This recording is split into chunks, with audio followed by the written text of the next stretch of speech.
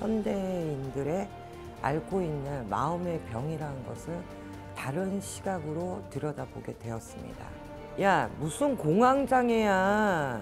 네가 등 따시고 배부르니까 그런 거야. 누구한테나 올 수 있는 그러한 전형적인 음, 현대인의 병이기 때문에 마음의 병이고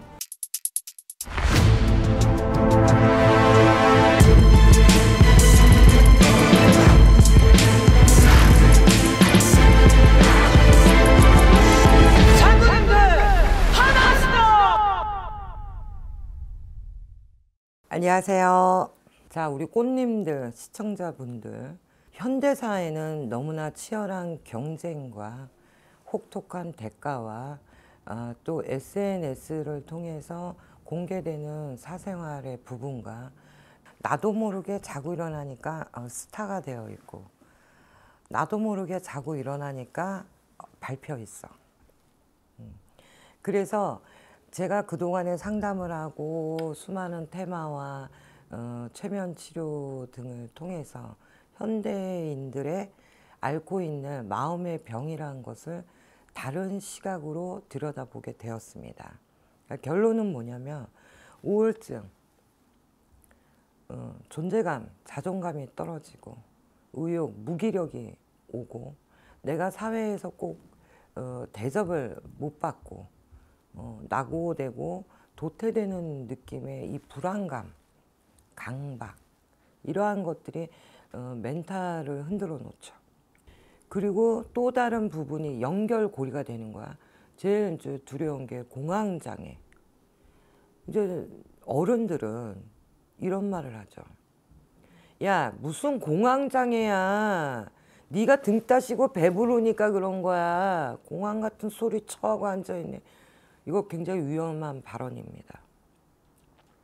우리는 공황장애에 대한 인지를 굉장히 감기 걸리듯이 누구한테나 올 수 있는 그러한 전형적인 어, 현대인의 병이기 때문에 마음의 병이고 정신적인 부분에 데미지를 남기기 때문에 우습게 생각해서는 안 되고 우울증과 연결이 되는 질병이기 때문에 공황장애가 오신 여러 젊은이들 저희 또래 중년 또 이제 노년에서도 엄청나죠.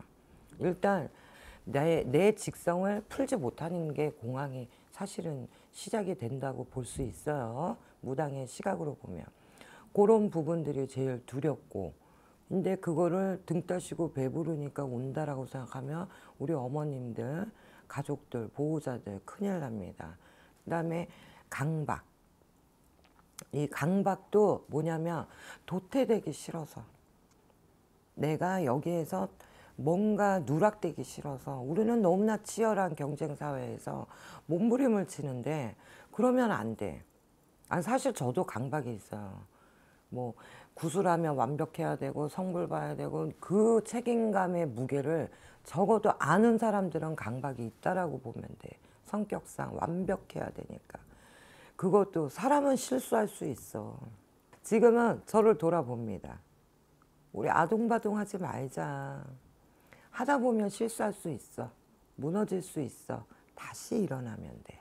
그 다음에 이제 마지막으로 폐쇄 공포증이라고 그래서 어딘가에 갇히는 거.